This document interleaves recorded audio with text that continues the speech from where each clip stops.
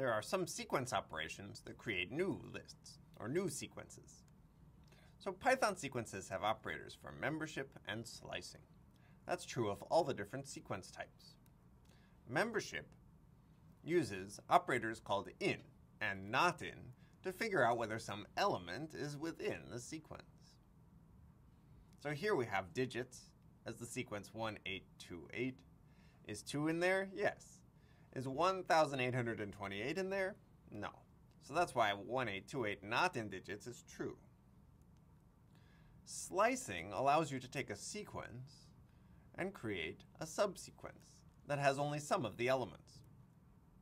So for instance, if you want the digits spanning index 0 up to but not including index 2, then you'll have the digits 1 and 8, which is a slice of the original list. Now the indices here work just in the same way that range inputs work. The first one is inclusive and tells you the bottom of the range, and the top one is exclusive. So digits 0 colon 2 is giving me digits 0 and digits 1, but not digits 2. If you omit either of these numbers, you end up going to the extreme value in the sequence. So this says start at index 1 and go all the way to the end.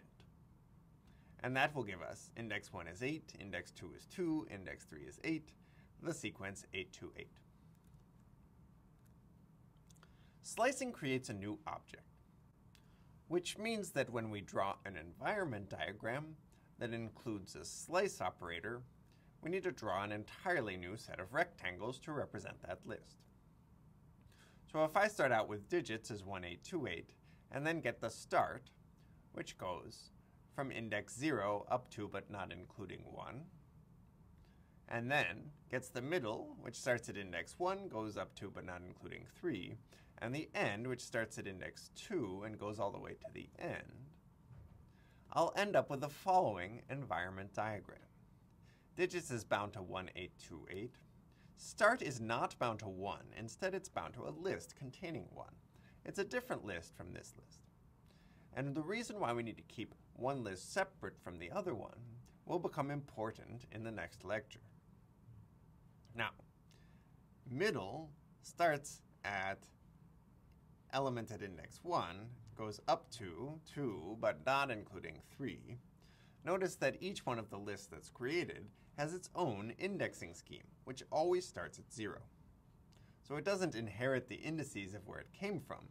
Instead, it's just some list that contains 8 and 2.